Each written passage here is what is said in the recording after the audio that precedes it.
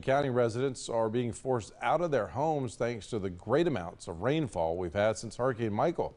County officials say the issue is above their head, but they're doing what they can to help these residents. News 13's Ashton Williams has more. For more than three months, some residents in Washington County have watched water levels rise over the roads and right into their homes. Some say they have had to temporarily relocate.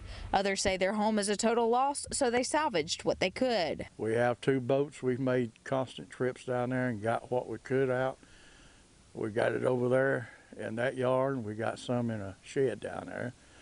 Got the truck full. Unfortunately, there's some still down there, but we have no place to put it. Thursday morning, dozens of residents met with county officials to voice their concerns. County Administrator Jeff Massey says they're doing all they can to help these residents. We have been reaching out since the beginning of this, trying to figure out what assistance we can get, what programs we can put in place, because we know this will happen again. In the meantime, neighbors are trying to help neighbors, like Scott Hobbs, who lives on higher ground. We've got a couple of neighbors just down the hill from us that used to use a road that is no longer passable. Uh, so we've actually been allowing them to come through our property and actually park on our property. And there's an elderly couple that are in their 80s and they're actually having to walk through the woods to get to their home. Residents say at this point all they can do is sit back and wait and hope for long-term solutions soon. Ashton Williams, News 13, Panhandle Strong.